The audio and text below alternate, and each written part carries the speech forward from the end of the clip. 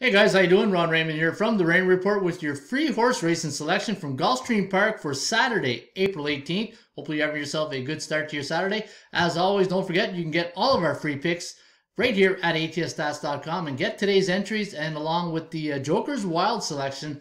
Pretty good day for the Joker's Wild on the year. We're up, a, uh, I believe, over 200 and some units with our Joker's Wild picks. But let's take a look at Gulfstream Park and how we did yesterday with our top selections from Gulfstream. Pretty good day, guys.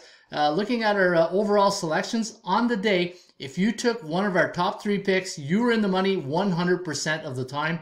Um, in the first race, we had the 11 10 2. It finished 294. So we did have the two in there, and the two did pay 22 30, 10 20 to place, 720 to show for a total payout of 39.70. So guys, that means if you took our top three plays yesterday from each race, bet them win, place, or show for $2, and that's an $18 budget ticket.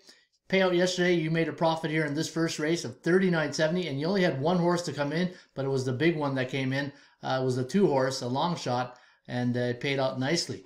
Looking at uh, also our overall record on the year, guys, in our last 491 selections that we've released here since March, I believe was 17th.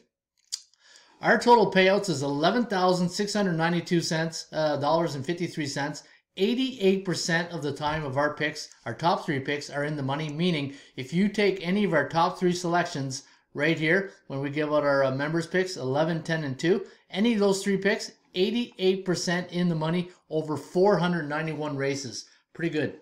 All right, let's get to your free pick today at Gulfstream Park. We're going to go to a fourth race. It's a uh, claiming race, it's a one mile race, $20,000 purse. And the thing I like about this pick here, guys, we don't have to worry about Luis Saez and Tyler Gaffalione.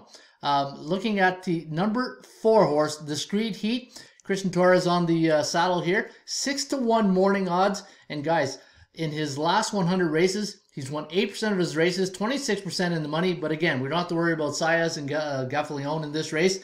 And um, we're going to go with the number four, take him to win, place, and show. Put $2 an $18 budget. And uh, if he comes in at 6 to 1, you will uh, make a nice little payday. So there you have it, guys. There's my free pick. If you want all of my Gulfstream uh, selections, you can get them right here at atsstats.com. Shop for value. Play those percentages. We'll see you back here shortly with another Raymond Report.